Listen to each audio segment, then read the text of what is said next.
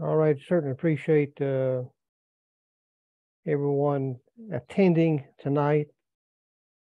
Uh, it's it's always a, a joyous occasion to be able to engage in Bible study with those of like precious faith, and hopefully I'll be up to the task that you may learn something that'll be uh, useful to you uh, in your uh, own personal studies.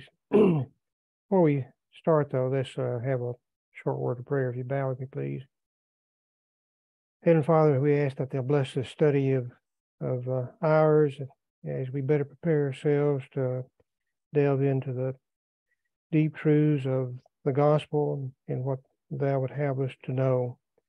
We're grateful for the power of the gospel uh, to save us from our sins, and we're grateful for the hope that we have through Jesus Christ, who's uh, love for us led him to the cross, that him that there he could shed his blood, that through that blood we might have forgiveness of sins.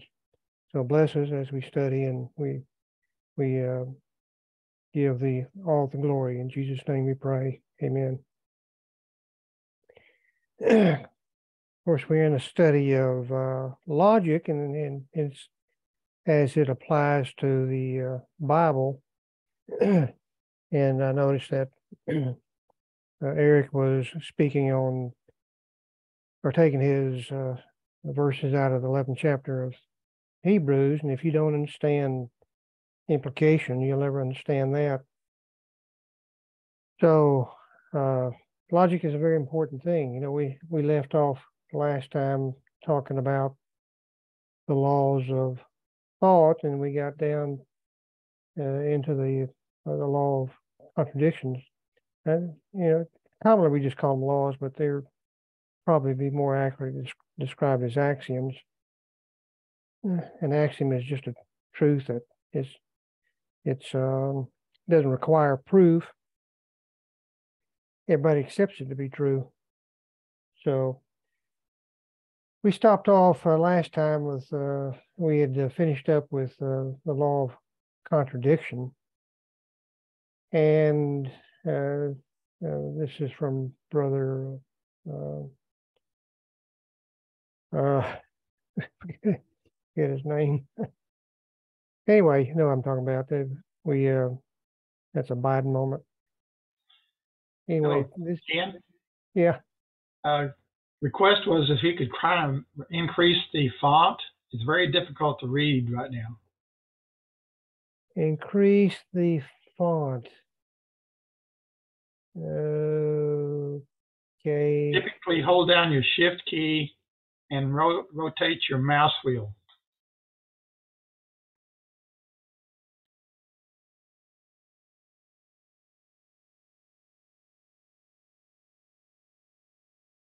Well, it doesn't want to do that. Um,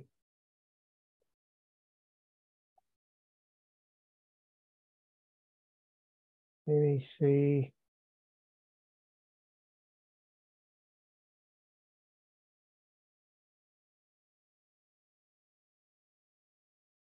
No, it's not going to do.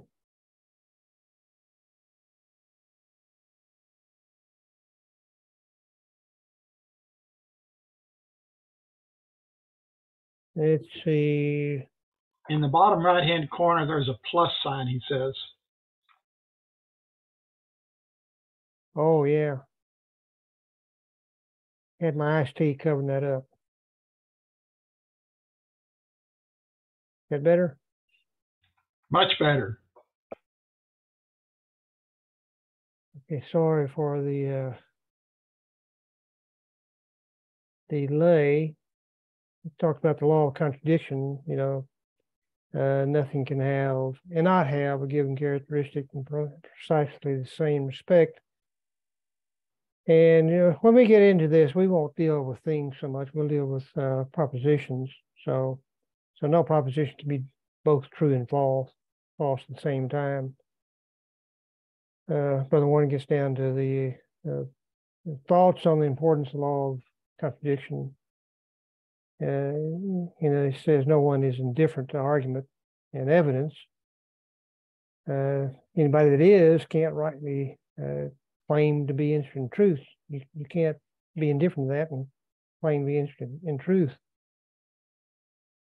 And we all know that uh, uh, we've run across people that would claim to, you know, this is your truth and I have my truth and talking about the same thing and two different uh, types of truth and both they're contradictory.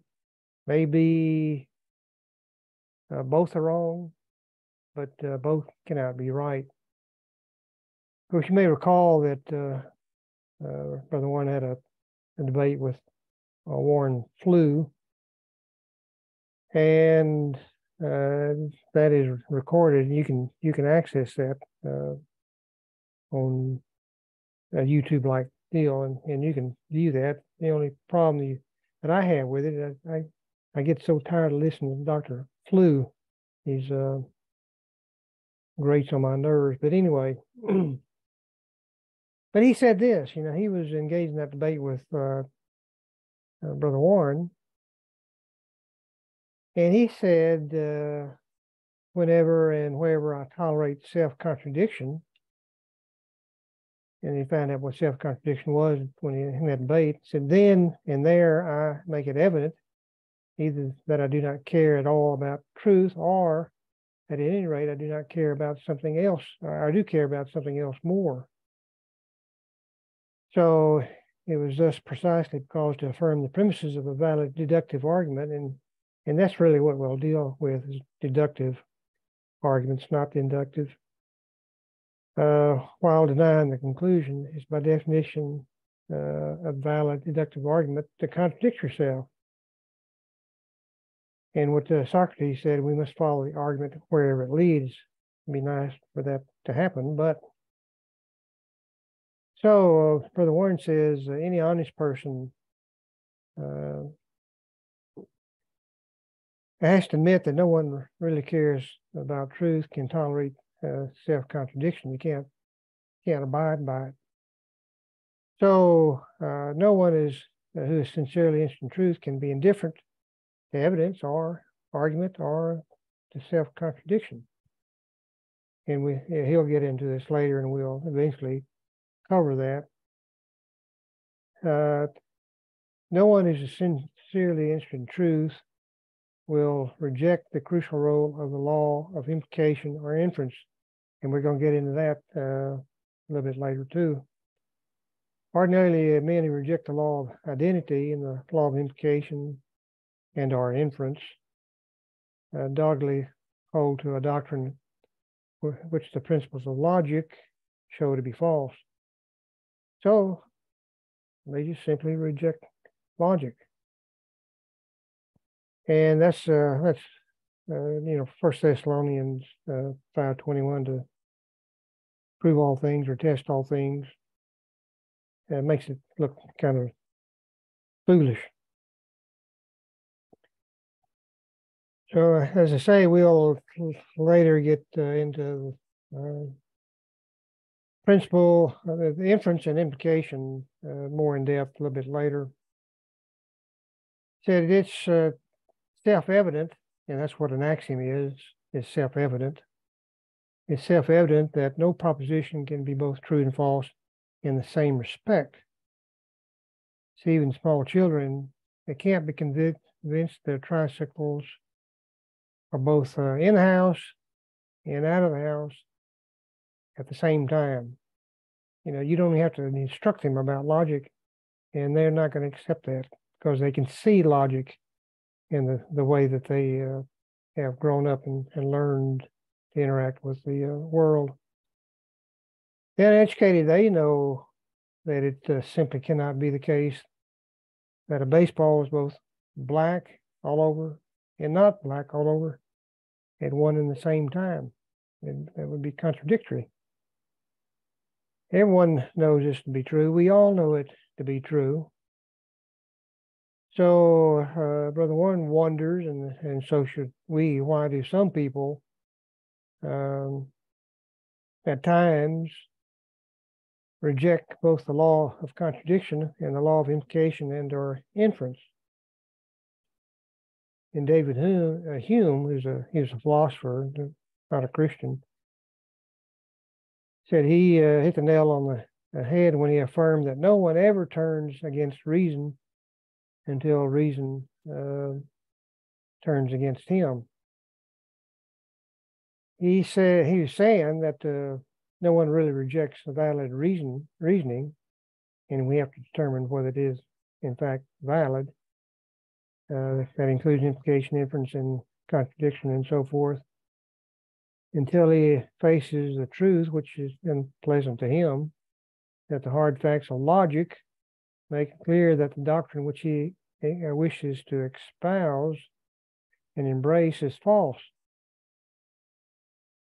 So, uh, the clear implications of doctrine which they teach uh, prove the doctrine to be false, and they uh, that's the trap they fall into when they reject logic.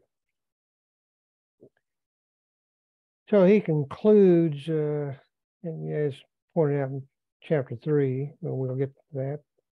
Uh, all people should recognize the truth of and honor the law of rationality.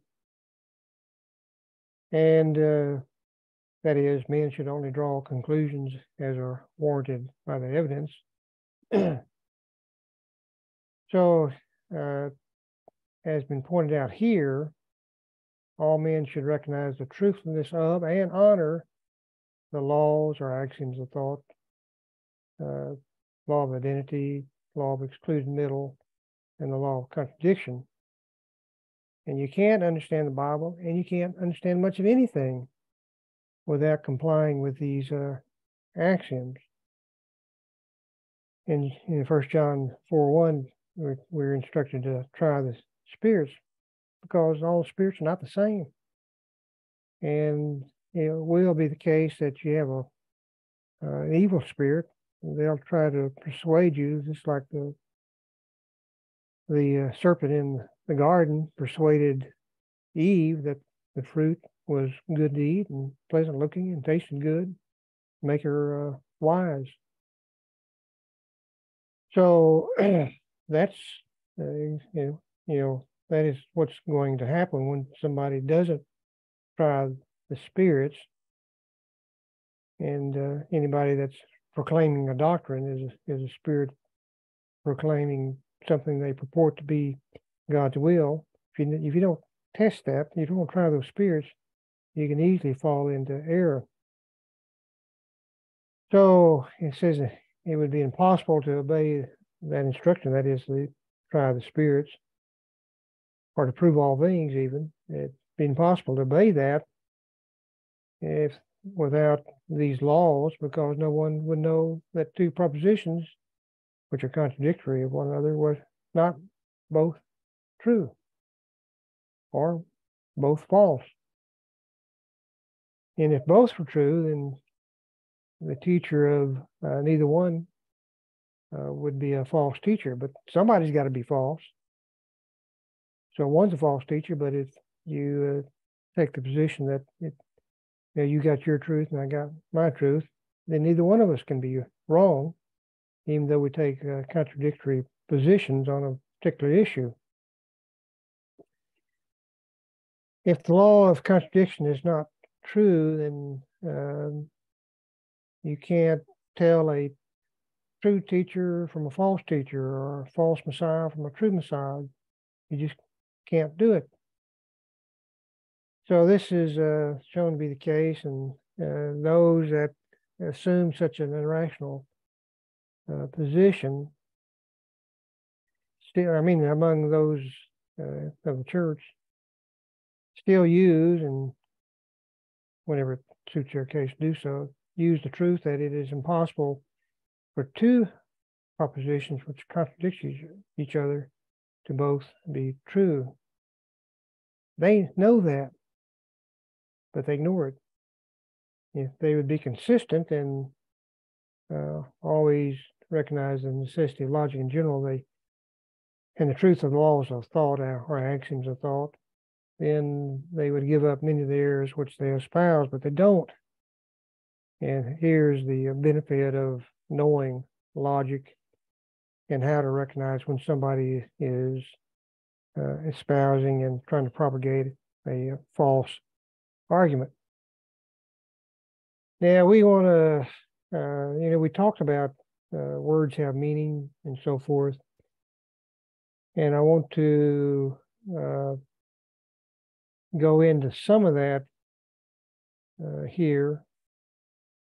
And we get into definitions, and there's again, this is something that we all know.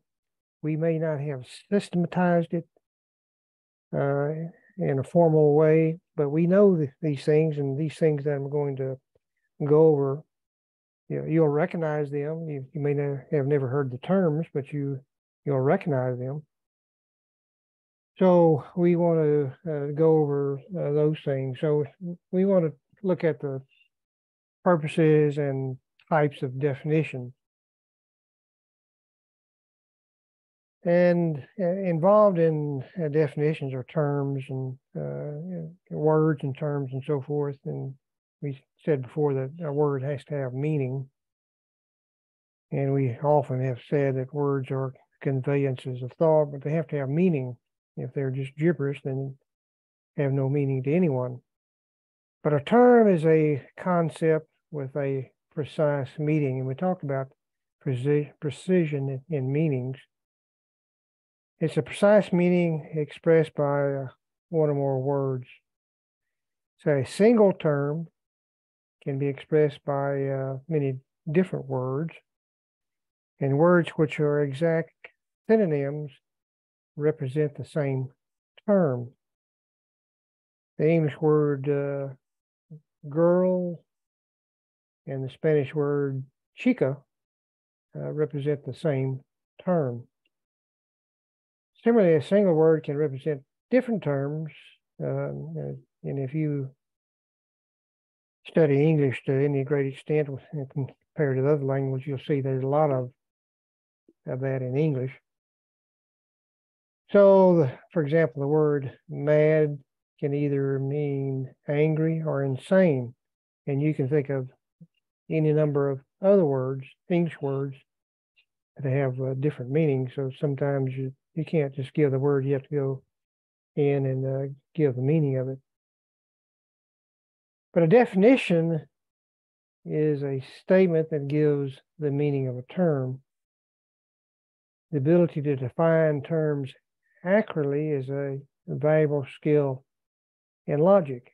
Now, just in casual conversation, we don't always do this because uh, we may just give a, a, brief definition or just say the word and given the context of conversation, casual conversation with uh, someone else, uh, you know, they they know what you mean.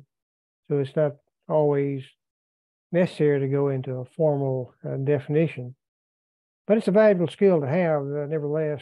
And uh, lawyers, if you ever get into uh, legal documents, you have to be very precise in your uh, terminology.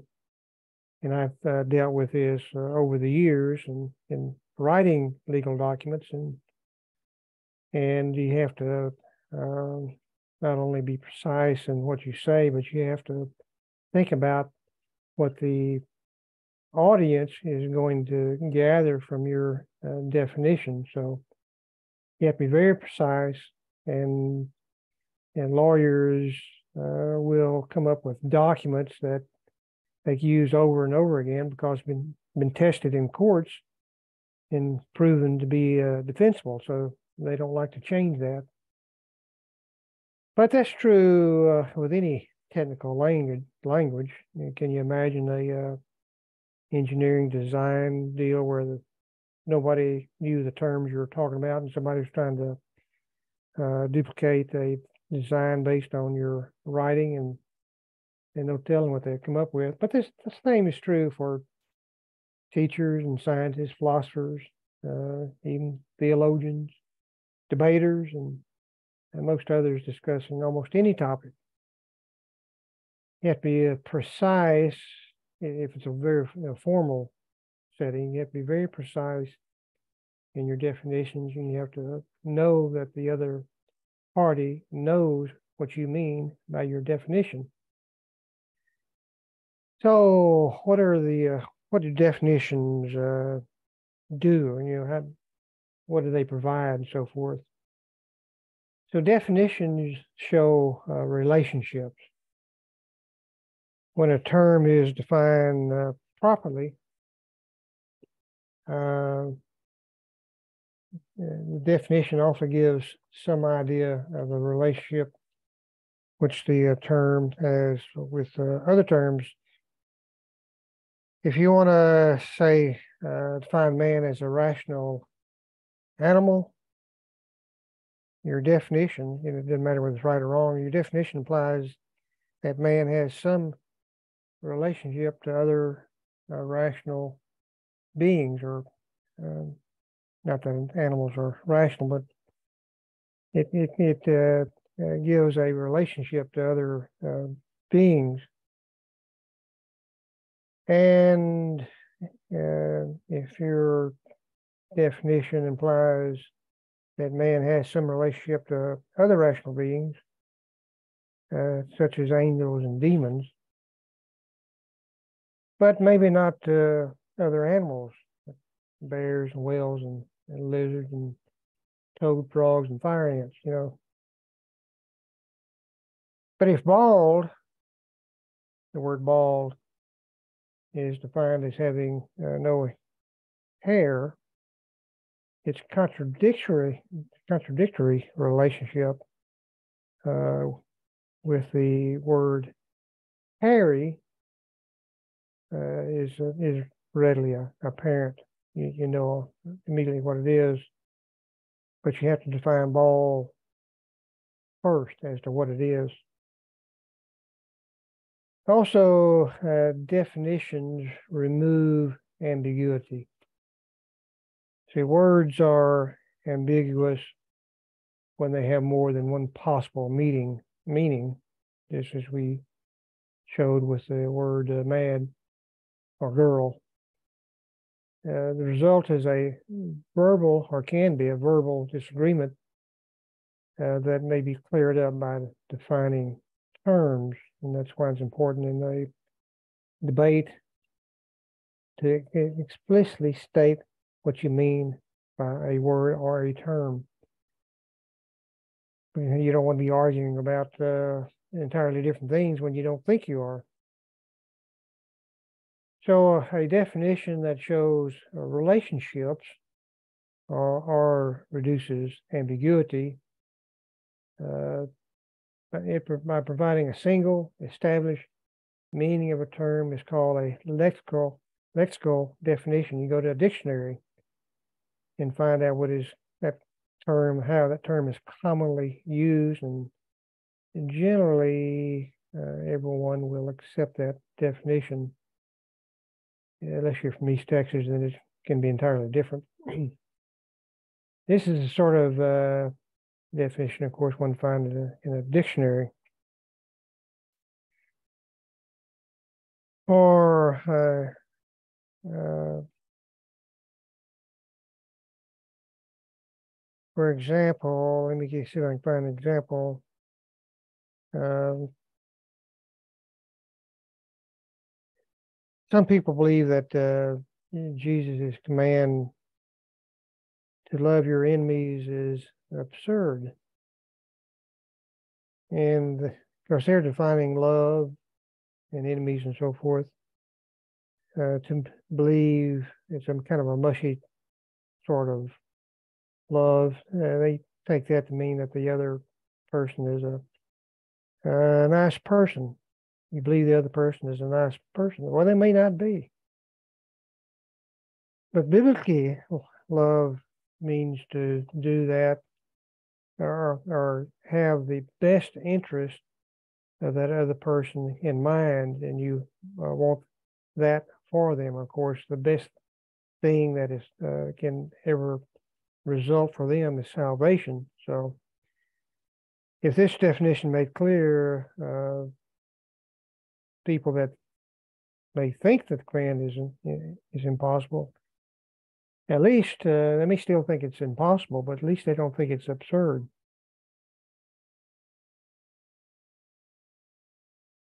definitions also uh, reduce vagueness. now, this is uh, very similar to ambiguity. A term is vague when its extent is unclear. So a term may have a single understood meaning, uh, but there are gray areas where it is uncertain if the given term applies. Uh, for example, it's warm outside. Now, I don't know if it is, not I have to go check, but it's warm outside. Uh, you know, but what does warm outside mean? It's uncertain uh, how warm it is. Like I say, generally, just casual conversation, you don't need to be that specific. But if this were some sort of uh, debate, you're going to say it's warm outside, then you need to be uh, very clear about the temperature. So if you say it's warm outside, then you define that as it's 80 degrees Fahrenheit outside, then there's no doubt about it because uh, hopefully your opponent will knows what Fahrenheit is. But anyway, that makes it clear. And then this uh, type of clarification is called a precising definition because it makes more uh, precise what was previously vague.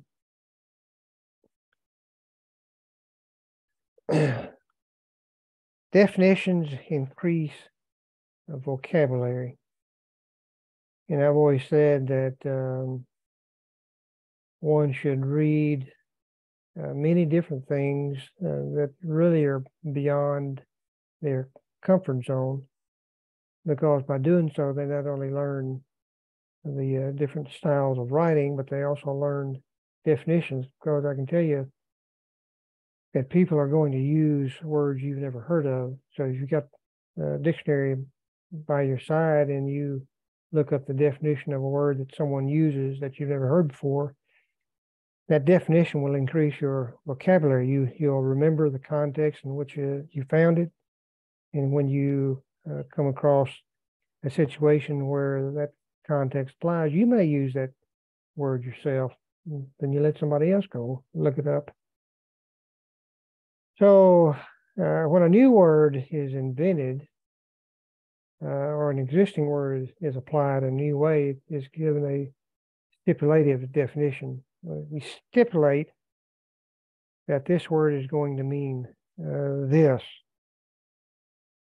So, you know, new words, uh, in English is a, it embraces everything, every language uh, under the sun. It will, uh, you embrace languages that you thought it would never em- embrace, like Russian, troika. You ever heard of the word troika? That's a Russian word and it re- replies to a uh, uh, kind of a buggy type deal with three horses in the front. Troika means three, so but that can come over to uh, English or kiosk. Kiosk is not a it's it's a come from a, a foreign language, and we adopted that. And there's there's some words that are just absolutely new. They're not they don't come from any other language. They, they're a manufacturer term. I'm presently using my laptop computer. Well, laptop didn't exist. The word didn't exist before 1985. So that came in existence. Now we need we think nothing about it. In uh, baseball, there's a certain pitch called a screwball. I'm not exactly uh, what that is, but that came into existence in 1928. And uh, like I say, we get uh, words from other languages like macho, uh, that's Spanish, of course, but that came in in 1928 also. And you ever heard of the word boondoggle? That didn't come from me, anybody. It was just an invented word. It came from a, a Boy Scout master, master in in 1957. I don't know the context in which they came about, but nevertheless, uh, that's where it came from. So that's a stipulative uh, definition. It's a new word. and somebody stipulated that it's going to mean this. The definitions can explain concepts theoretically. So sometimes definitions are given for term uh, for terms, uh, not because the word itself is unfamiliar, because the term is not understood. Uh, such concepts require uh, theoretical definitions. Now, they may be uh, scientific or philosophical in nature. Well, sometimes, uh, say in chemistry, we may say uh, this substance is H2O. Well, that's a chemical formula for water. He's not trying to increase your vocabulary because you already know what water is. So he's just uh, explaining the, the theory behind, in this case, the, the uh, chemical formula behind the thing we know as, as water. And definitions can also uh, influence attitudes. Often terms are not defined uh, not necessarily for the purpose of, our, our terms are defined, uh, not necessarily for the purpose of clarifying their meanings, but to influence attitudes and emotions. And I know what you're thinking, this is what politicians do, and yes, they do. So such definitions aim at persuading the listener one way or another towards the term being defined and are therefore called persuasive uh, definitions. And uh, let, us uh, give uh, some examples. Uh, is democracy mob rule? And that's what the Greeks uh, thought of it as. And, and whenever they had a, a town meeting, everybody could come to a stadium or something like that, and all of them would get together, and then they call that uh, democracy. I should say they they engage in that, but the uh, founding fathers of this country uh, understood that to be a governing by the mass, the mob, and they didn't want that. So a democracy was not established in this country. It was a representative form of government. So, uh, and today, uh, I don't think this is uh, so much among us, but uh, marriage, that's the institutionalized uh, institution of marriage. Is that a form of slavery? Or is that the uh, blessed union of a man and a woman? blessed, blessed by God, blessed by God. So, and of course, we can get into, you know, uh, abortion and defining of the fetus as just a blob of mass or a human beings. So one party defines it one way, and one party the other way, all intended to um, be persuasive but the fact of the matter is, a lot of these uh, persuasions, one way or the other, again, one can be false and one can be true, can be both be false. But typically, they can't both be true in the same sense. Now, another way of uh, uh, characterizing uh, meaning or and definitions and so forth. And we'll spend some time with this. And again, this is something that you know. You may have never heard of it described this way, but you know this. And that is the uh, classification of things as uh, genus and species. Now, one thing you should not have in your mind that this is referring to taxonomic categories. Or it's not talking about that, uh, at least not directly. In definition statements and, and terms and what have you. Uh, terms are often uh, placed in a genus. Uh, that's a class of things that have common characteristics and then that can be divided into subordinate kinds. And this is just a standard uh, dictionary or lexical definition, if you will. And a species, in logic anyway, is a is a group subordinate to a genus and containing individuals agreeing in some common uh, attributes and called by a common name. And probably the best way to uh, define this is look at it in our hierarchy of genus and species. And let's look at this, if I can make it larger. Uh, I think you can see that now. We got food. Now that's a genus. And what's included in food? Well, we can go quite extensively here. Meats, dairy products, fruits, vegetables, and grains. And meats, dairy products, fruits, and vegetables and grains are the species of the genus food. But the uh, thing that you should note about this, note about this, that the species of food can also be the genus of species below it, like dairy products.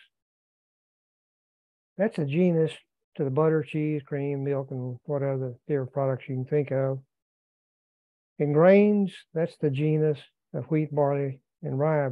But in grains is also the species of food, and dairy products is a species of food also. So something can be both a genus things below it, and a species can be a genus of the things below it.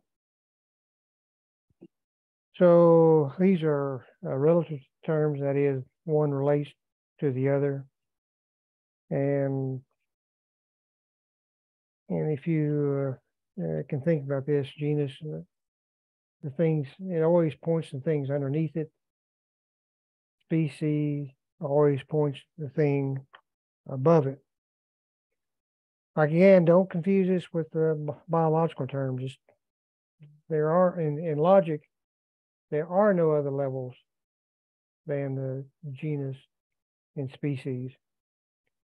But we're talking about logic, so let's uh, look at the logic. And let me, if we were to look at uh, logic,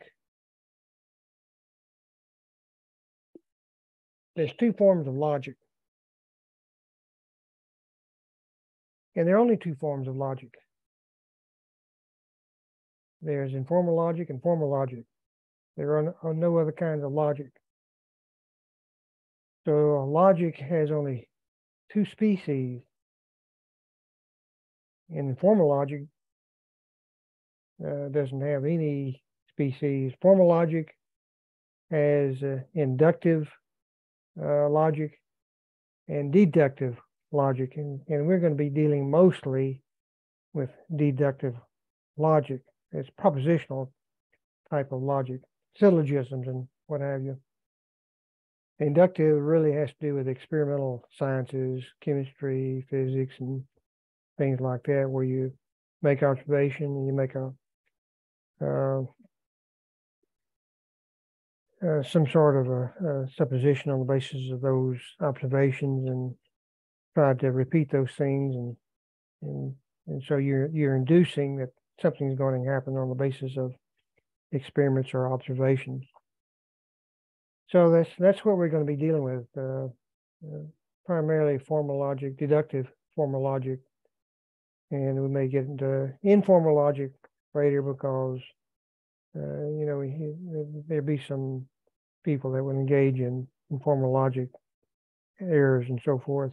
So we want to do that, but we'll we'll stop here and we'll make some more, give some more examples of genus and uh, species, and we'll give some where uh, it's just wrong. The, the uh, tree that's given here is for some of these just wrong, and we'll show you how they can be wrong. But this is something that you go through when you're thinking about these terms. You will go through this, uh, at least maybe in the background, but you will go through, through these things and you will categorize these in this uh, this way. So again, appreciate it. We'll we'll take up here uh, continue this uh, study of genus and species, and once we get the concept down, we may not deal with it much after that.